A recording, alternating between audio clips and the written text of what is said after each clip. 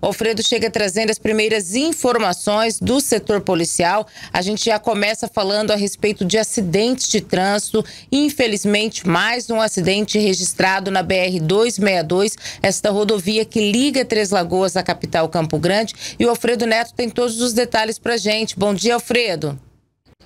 Olá, bom dia, Ana. Bom dia, Fernando. Bom dia a todos que nos acompanham. Ontem, Ana, no final da manhã, Polícia, Polícia Rodoviária Federal e o Corpo de Bombeiros Militar foram chamados para comparecer no KM 44 da BR-262, ali próximo ao assentamento 20 de março, próximo ao distrito de Arapuá, aonde dois caminhões, dois veículos pesados teriam colidido frontalmente naquele trecho.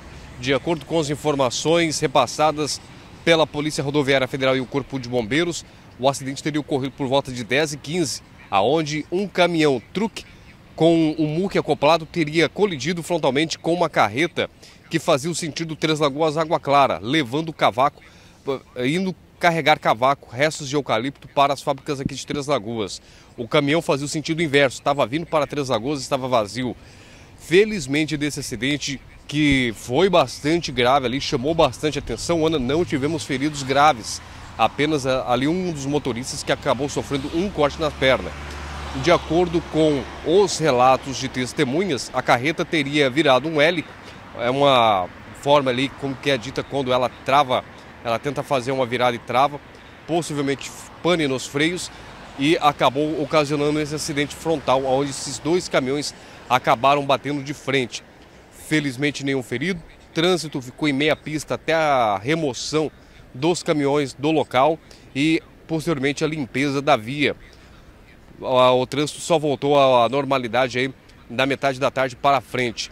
Agora a Polícia Rodoviária Federal intensifica a fiscalização no trecho que liga Três Lagoas a Ribas do Rio Pardo por conta do começo de semana ter aquele fluxo elevado de veículos, de trabalhadores que estão voltando para Ribas para poder trabalhar em caminhões que estão trazendo madeiras para as fábricas de Três Lagoas e veículos que estão seguindo o destino rotineiro aí para Campo Grande, Mato Grosso e também aí para, para a Bolívia, levando produtos e fazendo desse trecho um trecho carregado, um trecho pesado, com muitos veículos pesados e sendo uma pista simples, colocando aí um nível de alerta dobrado para quem utiliza esta viana.